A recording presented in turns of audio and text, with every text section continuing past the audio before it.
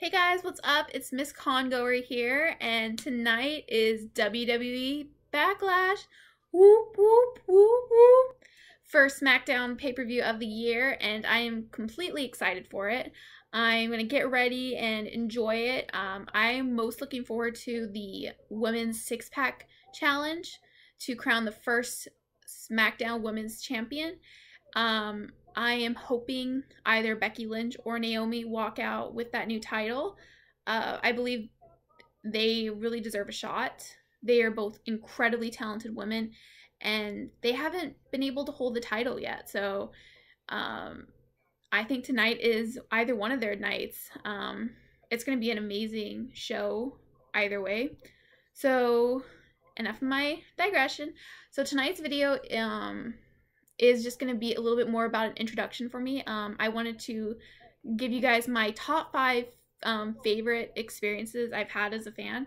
Um, there's a lot more than five, but I don't want to have to um, keep you guys too long um, in some boring video. So I am just going to stick with my top five. If you guys want to know any others, um, feel free to drop a comment below and I will more than happily answer any other questions you have. Um, I'll probably be doing a reaction video to Backlash that either tomorrow or sometime this week, but I'll try to get that out as soon as I can.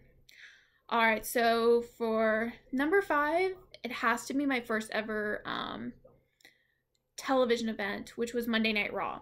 It was November 22nd, 2010, and that was the night after Survivor Series where John Cena lost to Wade Barrett and had to leave the WWE. So it was my first ever actual t- TV show, and I go when Cena was apparently not going to be there anymore. So, and as a John Cena fan, that kind of hurt. So I'm kind of glad he didn't stay away, which was amazing. Um, so we were actually me and my mom, who you'll probably meet in other videos down the line because I try to get her to come out to as many of my events as I can because I love having her around. She's my best friend. Um, so we were actually on the side where we would be on camera. So I had a couple of signs. I had my John Cena sign and I had a Michael Cole sign that said, and I quote, shut up, Michael Cole. And that was actually sh- shown during the um, commercial breaks. And seeing his reaction to it, it was pretty funny because he was just oh gosh, enough with the signs, people.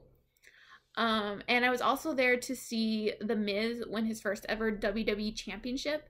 And I know a lot of people um, say that The Miz really isn't all that great, but I've met him and he's pretty cool. A little bit cocky, but I mean, anybody can can be. And you, I know everybody will agree with me being there when somebody wins their first title um, their first major title is pretty incredible. Just to see their reactions live, it's a pretty cool thing to to see. Um, number four has to be um, when I first met Paige for the first time. Um, it was at WrestleMania 30, my first ever WrestleMania, and we were in. I was in line with my dad to get autographs, and we didn't know who was coming, and it was taking quite a while, and Paige was actually in a match with Alexa Bliss at the at that moment. Um, so we're all waiting, and people are getting a little bit agitated because we've been waiting for a little bit of time. And they were like, "Oh, it better not just be Hornswoggle. I don't want to have to wait just for that." Um, so finally, the people come out, and to our surprise, it's Paige and Alexa Bliss. So they had a good excuse. They had actually just been in the ring wrestling. So, um, it, there was no long no no wonder it was taking so long for them to get over there. Um, I was a little disappointed that so many people left the line when they found out it was Paige and Alexa Bliss because um, I was a huge fan of Paige's. Um, I loved her look. I loved her attitude. She wasn't like any of the other women that were wrestling at the time, and it just drew me in because she was herself. Um, and also Alexa Bliss. I didn't know a lot about her at the time, but um, watching a lot of her matches now, um, I've become a fan. I mean, she's so spunky and just sassy, and I just I I aim to be like her. I aim to have that confidence. All right, so back to the meeting. Um, when I found out it was Paige, I lost it. I was in tears, shaking, crying. And my dad was just like, okay, keep it together, please. Like, why are you freaking out so much? And I was just, this is Paige. Like, I loved her at that time. Um, and so when I got closer, she actually saw me when she was um, coming up back onto the stage after signing autographs for some of the disabled um, fans. And she saw how excited I was. She just didn't understand why I was so excited to meet her. Um, so I finally get up and I have her sign my drawing, and I'm just a sobbing mess telling her how much she means to me, how big a fan I am. And she gets up, comes around, and hugs me, and it's just an amazing. She just says, you know, thank you so much for always supporting me. Um, she gave me the title to kind of hold, and I actually have the photo of me holding the title with her, and that's one of my favorite photos and one of my favorite memories, which is why it is number four. All right, so going on to number three, it was has to be my first ever NXT show. Um, that happened just recently, and it was actually the first wrestling show I had been to in quite some time. The last one before that was WrestleMania 30, which was probably about two years ago. So this, I was so excited for this. Um, hadn't gone to a live event in so long. Um, I sprung for ringside seats, which was completely worth it. I was in front of the ring, dead center, and I was able to see all the action. Almost got hit by the barricade a few times. So, note to self: if you guys are ever um, at a live event and you're sitting right in front of the barricade, always be on the lookout and be aware. And if you see someone flying at that barricade, just back up a little bit because you do not want to get hit by that thing. It looks like it hurts if it lands on you. So that entire event was the show was amazing. Um, getting to see a lot of the my favorite talent that was in NXT at the time, like American Alpha, um, Nia Jax, uh, Alexa Bliss, Finn Balor, Asuka, who is incredible, um, and of course Bayley. I am a huge Bayley fan, and uh, I Bayley is my favorite at this moment. Um, I'm always I always have yeah, sorry. Um, I always change my my favorites always change. I love all the female competitors, but Bayley is by far my favorite at this moment. Um, and I had a sign that had that said, "Bayley, I want a hug. It's on my WWE bucket list." And she saw my sign, came over, hugged me, and proceeded to give me the shirt she was wearing over her ring gear, gave it to me. And that was amazing. I got a free souvenir and um, it's not on my wall at the moment, but um, I am gonna pin it up on my wall, and when it does, I'll send I'll send you guys a video of that showing that because it's pretty cool. I tried wearing it, but yeah, not her size. I wish. All right, so number two was meeting Mick Foley at WrestleMania 30. Um, like Paige, I became a sobbing mess when I met Mick Foley. Um, I love his in ring work. Um, I'm a big fan of him as a person. Um, he is incredible. He works with so many good charities and he he just he really genuinely loves the fans. He loves this business. I mean, he gave his body for this business. And for him to continue to give and to be a part of it is incredible.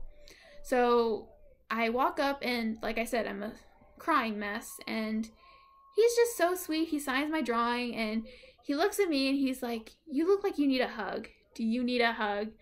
And I'm just luckily not wearing any eye makeup or my I would look like a raccoon that day crying, "Yes, I need a hug, please."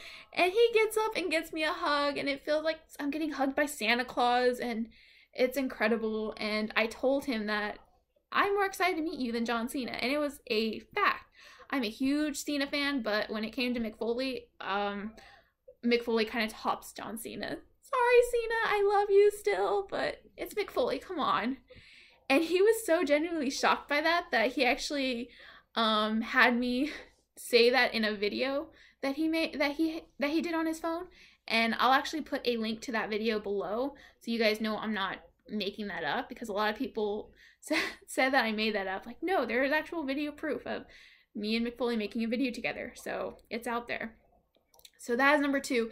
Now, number one is, um, again, WrestleMania 30, being there live when the streak ended. I. This was my first ever WrestleMania, so I knew I would see some history making stuff. I did not expect to be there when the streak ended.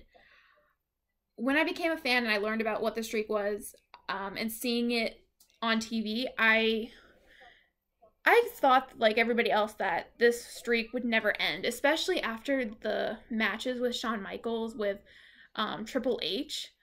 I I was like, okay, this streak is just it's gonna continue on. It's gonna get to 30 and 0, and Undertaker's gonna ride off into the sunset, and that streak will always be there. No one will ever beat it. So, and it's Brock Lesnar, and I have my own things with Brock Lesnar thinking, but I kind of like him. He's okay. Um, it's not my favorite. Um, so I, I didn't, I thought, okay, this is gonna be a good match. I mean, Brock Lesnar, he's a beast in that ring. Like, whether you like him or not, he can, he'll kick, he'll kick the shit out of you. Sorry for the language. Um, but I never thought that he would be the one to break the streak. And when it happened, it kind of, if you watched on TV, you saw everybody's reactions it was a whole lot different when you're actually there. I mean, that entire place was completely packed. The moment the ref rung the bell, you could hear a freaking pin drop. It was that quiet. And you just, I just saw everybody's eyes go from the ring, go to the ramp, back and forth, and to each other seeing if somebody's going to run out and reverse the call like oh no his foot was on the line um something his foot was on the rope it was you know he, he kicked out you just didn't see it. Nothing happened. And the ref called for Brock Lesnar as the winner and then everybody just lost it. I mean i i saw a couple of grown men crying. That's how crazy it was. And my dad god bless him i've I, I want to make a shout out to my dad. I have dragged him out to so many like concerts and wrestling events um, that he isn't even a fan of, and he has stuck through it. And dad, you the real MVP. Love you. Um, and he had no idea what was going on, and he was just like, "Why is everybody freaking out?" And I just like look at him, and I am just still in shock myself. And I just look at him and go, "The freaking streak is over." And he's like, "Is that a big deal? And I was, and I literally yelled into his face, yes! Uh, we thought it would never break. And I'm just like rambling on with everybody. And the guys behind us are trying to explain to my dad. And, and it was just this crazy thing that happened. And it, it will go down in history as one of the best moments I've ever been at to have said that I was there when the streak ended. I will be telling my kids, I will be telling my grandkids who I will get to be wrestling fans. They're going to grow up wrestling fans. There's no way out of that one. That I was there when the streak ended. And I am proud I am proud to say that that my first ever WrestleMania that I have ever went to, the streak ended. And that is my number one experience. I have so many other experiences I can talk about. Um, but like I said, I don't want to keep you guys too long. I know people are getting ready to watch Backlash. I know I'm getting ready to watch Backlash. So if you guys have a comment, want to leave a comment, leave it below. Subscribe. Um, and have an amazing day. And I'm going to steal Xavier Woods' um, closing line until I get my own. Keep it tight, all.